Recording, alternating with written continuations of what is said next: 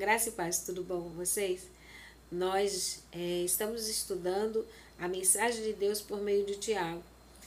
É o primeiro, é o primeiro, a primeira lição desse trimestre. Nós estamos começando o último trimestre é, do ano, né?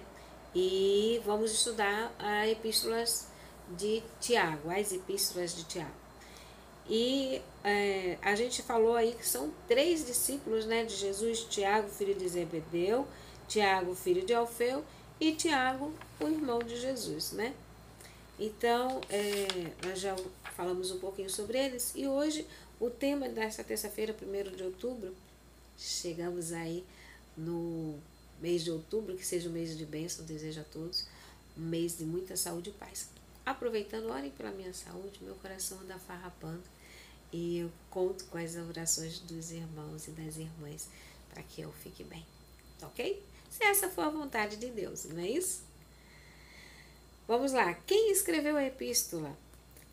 Como a inspiração descreve Tiago, filho de Alfeu, um dos doze, mas não o irmão de João, ambos filhos de Zebedeu.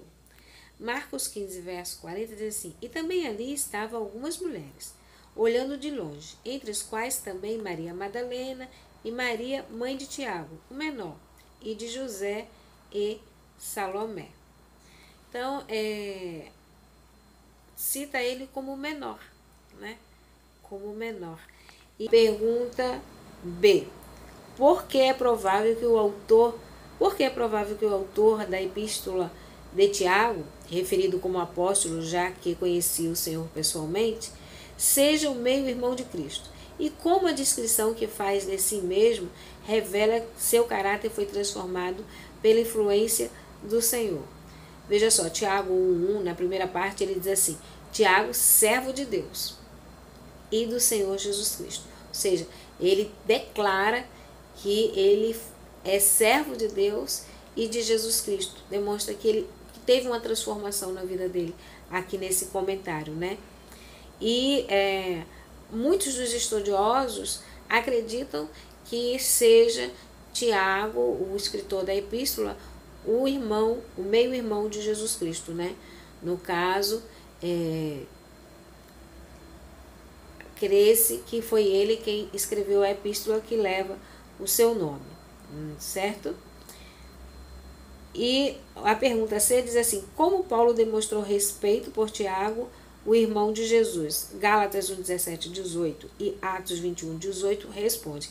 Gálatas 1, 17, 18 tem o seguinte comentário. Nem tornei a Jerusalém a ter com os que já antes de mim eram apóstolos, mas parti para a Arábia e voltei outra vez a Damasco. Depois passei três anos. Fui a Jerusalém para ver a Pedro e fiquei com ele quinze dias e não o vi e não via nenhum outro dos apóstolos, senão a Tiago, irmão do Senhor. E Atos 21, 18 diz assim: E no dia seguinte, Paulo entrou conosco em casa de Tiago, e todos os anciões vieram ali. Então a gente vê a maneira respeitável que Paulo fala sobre Tiago e também vê que ele vai à casa de Tiago e os anciões vão é ali também a casa de Tiago. Então isso demonstra é, o respeito né, que ele tinha por Tiago, o irmão de Jesus. Né?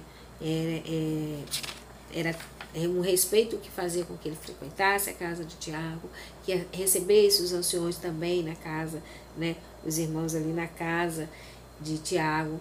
Então era uma, uma convivência respeitosa, ok? Que Deus abençoe vocês. Como já disse, orem por mim.